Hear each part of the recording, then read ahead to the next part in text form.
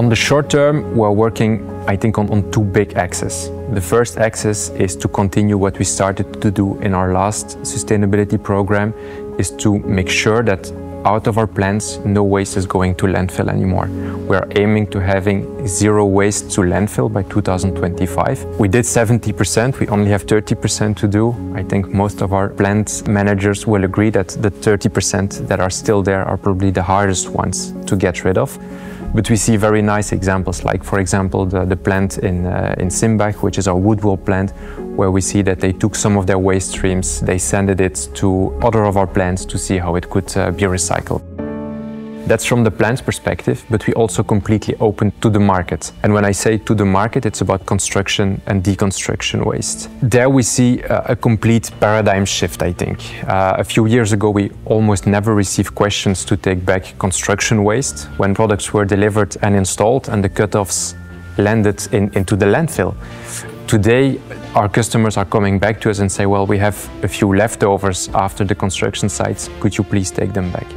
And, and that's where we see that we're setting up uh, elements like Resulation that looks to glass wool and rock mineral wool coming back from the construction sites to have them recycled in our plants.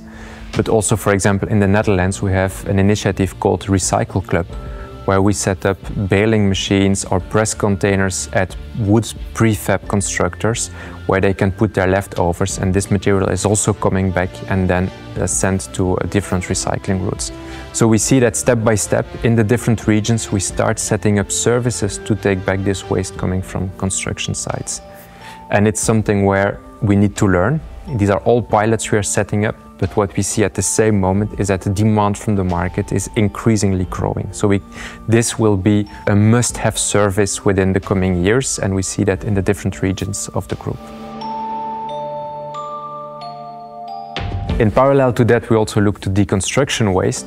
And when we talk about deconstruction waste, the, the biggest project we have at the moment is the Looping project, which is to set up a recycling plant here in Visé where we will recycle glass mineral wool coming back from deconstruction sites. So the objective is not to give a service to our customer anymore, but really to become a recycling plant, to buy the waste, to sell the service, to have this waste recycled, to take it in and to create an extra secondary raw material for our plant so that we can even more increase our recycled content. So two different perspectives. Construction sites, we offer an extra service. From the deconstruction side, we really become part of that recycling business to create our own secondary raw materials.